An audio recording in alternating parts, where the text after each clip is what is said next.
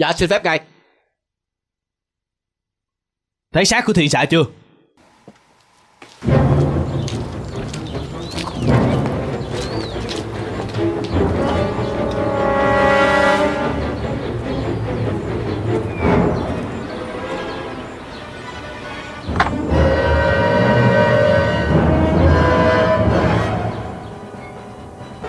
Chào!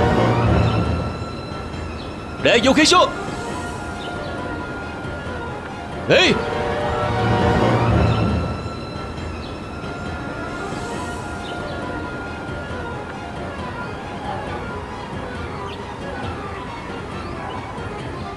Có chuyện gì? Tại sao lại tăng lính bảo vệ? Tất cả là lỗi của hạ thần Thần lén ám sát ông cô Chanan Nhưng đã thất bại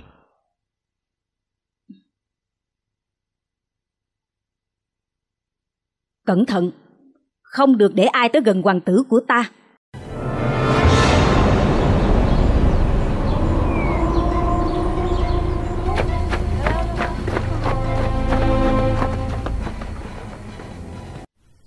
Chuyện như vậy? Đi gấp gáp như vậy có chiến tranh à?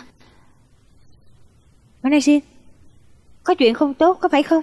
Mẫu hậu và em của ta sao rồi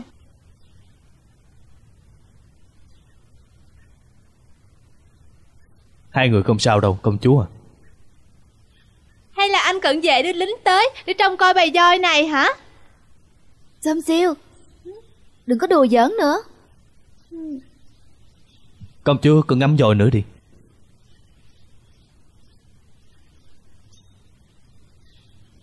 Nếu cậu không nói là chuyện gì Thì không cần nói với ta nữa đâu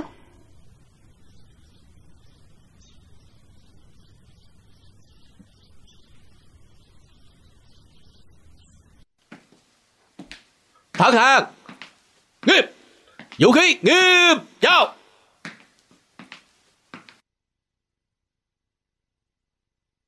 Hạ vũ khí xuống.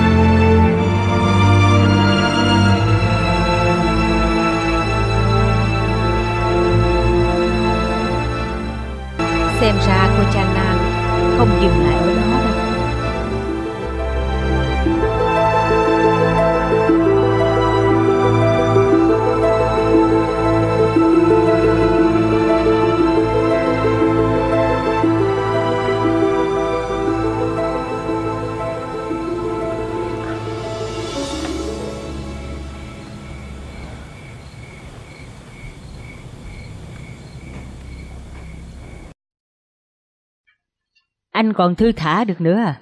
Cầm miệng đi. Không thấy tôi đang suy nghĩ hả? Nhưng em đang lo cho anh. Tốt nhất là đi nói với con gái của cô đi. Trong khi có chuyện xảy ra Không biết nó đang ở đâu nữa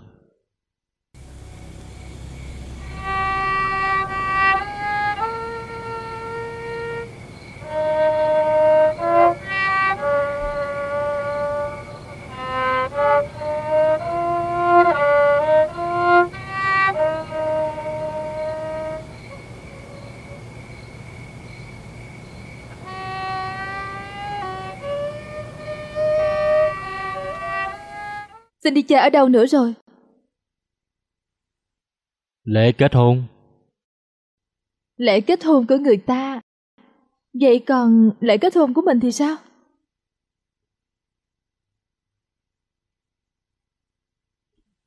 Làm gì có ngày đó chứ?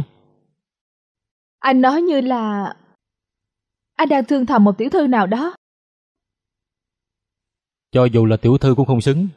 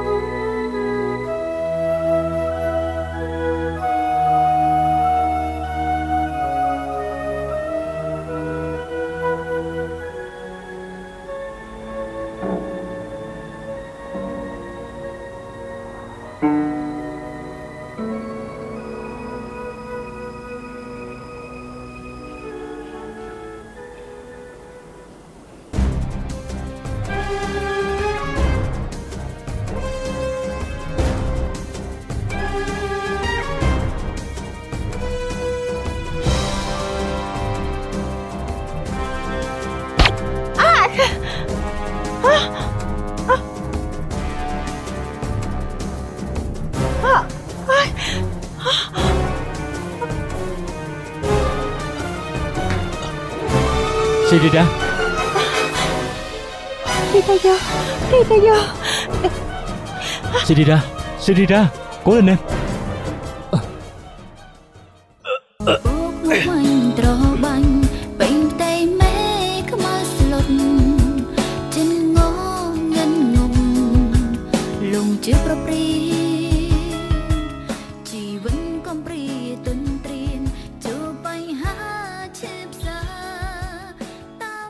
Tại sao cha lại ngồi ở đây? Vết thương của cha đang đau phải không? Cha không có thấy đau gì hết. Phải không Madadin? Tôi đã cho họ nhận tội nên đã bắn trả họ rồi. Người đó là ai? Hay là cha kêu người đi giết tên chủ mưu rồi? Hả? Cô nghĩ là cha hung bạo như vậy à? Cha chỉ cần làm cho người đó phải bị thương. Như cha vậy thôi. Họ nên biết thân phận của họ. Cô Chana không dễ dàng để người ta đụng tới đâu.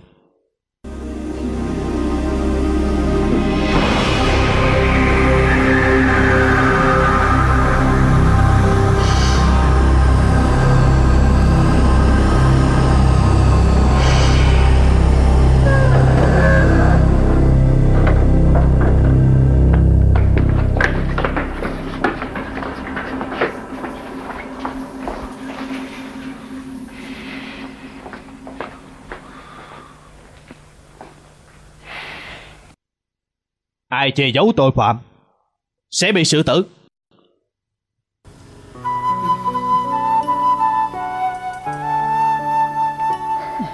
Đến từng tuổi như tôi rồi Chết hôm nay hay ngày mai cũng vậy thôi. Cậu cứ làm theo bổn phận của mình đi. Tất cả những người mẹ Chắc không muốn con gặp nguy hiểm đâu. Hoàng hậu cũng như thím Thương con hơn mạng sống nữa.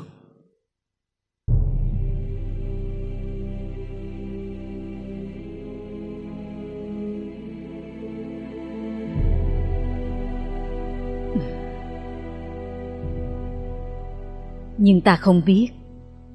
Thi Tha Vô đã đưa công chúa đi đâu?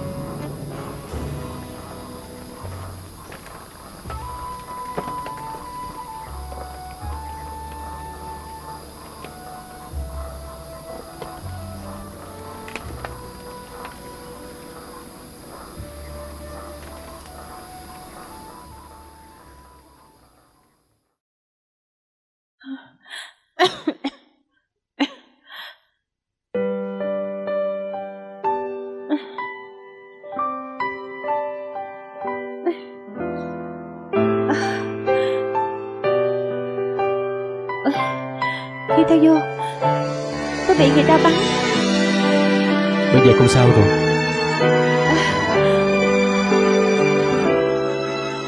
Em Vậy đây là đâu Đây không phải là nhà của anh Tránh ra Tránh ra, tránh ra, tránh ra, tránh ra. Tránh ra. Ừ, mấy người lá cây con cái. Tránh ra. Tránh ra đi. Đi. Ừ, cái thô người bạo quá.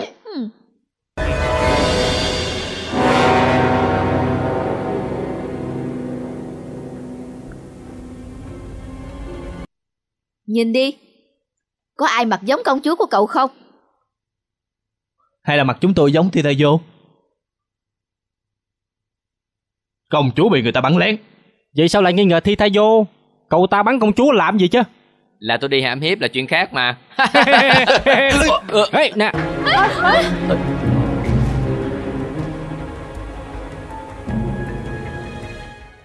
Nếu các người cứ cậy quyền thế, người mà bị mọi người ghét là công chúa các người. Đừng làm dân chúng chịu khổ nữa.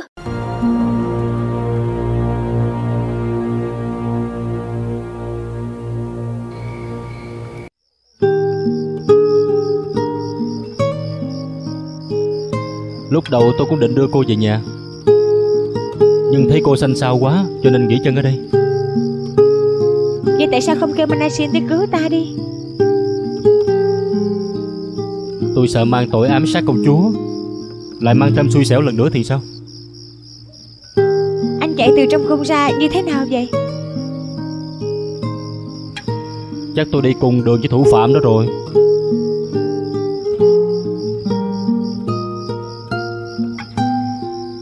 Ta muốn biết sự thật Lần trước Manasin tra hỏi tôi gần như ói hết máu rồi. Không trả lời được nữa đâu.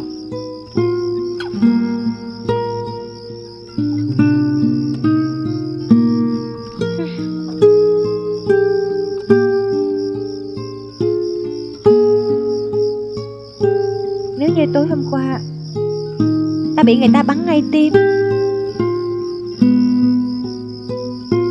Nếu như thoát khỏi rồi thì nói đến cái chết làm gì Công chúa xương sắc à? Ăn được rồi phải không?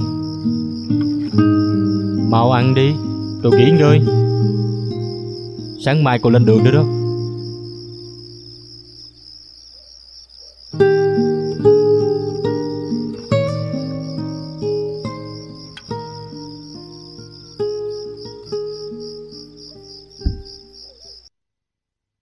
Tất cả chuẩn bị. Nghiêm chào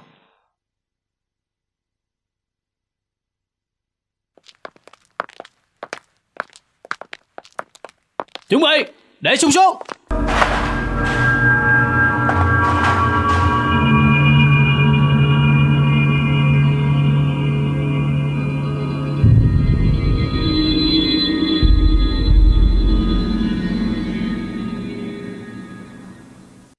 Bác sĩ nói là ông bị bệnh.